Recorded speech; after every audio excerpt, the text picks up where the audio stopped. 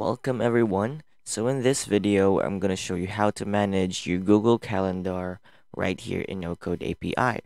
So first, you need to log in your account. Then once you're logged in, let's proceed to the marketplace and let's look for Google Calendar. So it's right here. Just click this button. And of course, we will have to create the Google Calendar API. Now click this button and we will have to authenticate our account in Google Calendar right here. So mine was added two days ago. So we will have to provide a name. Let's say my calendar.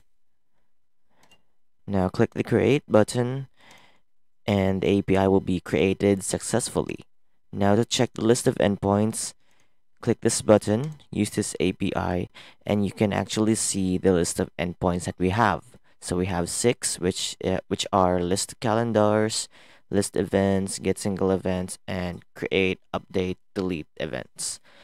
So right here, if we click on test API, we can actually see the list of cal calendars that we have.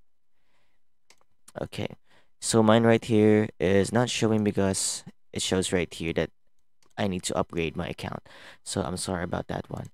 But if we check on the list of events as well, just provide the calendar calendar ID right here and it will actually shows the codes right here in JSON format. So apparently I need to upgrade my account first. But with this three, you can actually create events. Just provide the necessary informations right here and also provide a calendar ID. The same with updates on event just provide the event ID and also for the del delete and delete, delete an event by providing the event ID as well. So yeah, that's it for, today. Thank you so much for watching and have a nice day.